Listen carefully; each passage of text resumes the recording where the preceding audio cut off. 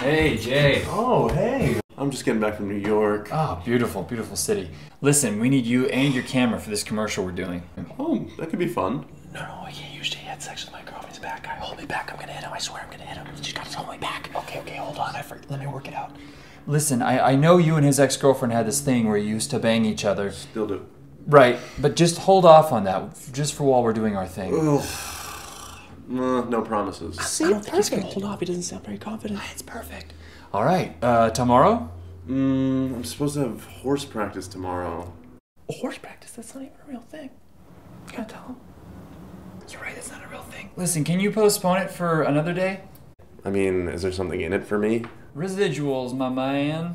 You're gonna get him residuals. What about me? Am I making money? No, you're not gonna get money because you blew my eggs. That's why you're not getting any money.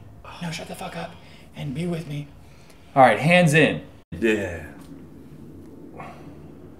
Come on, just come on. No, just, come on, just go. Come on, just push. I got it. I got it. I got it.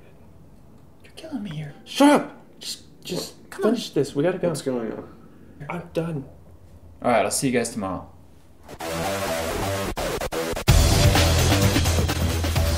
Senpu! Senpu, goddammit!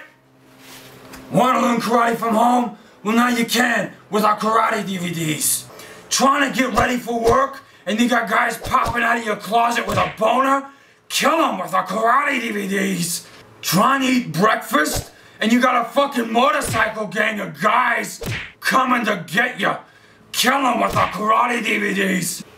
You're reading a book in your bedroom, and all of a sudden you got guys coming out of the woodwork. Chop them up with our karate DVDs.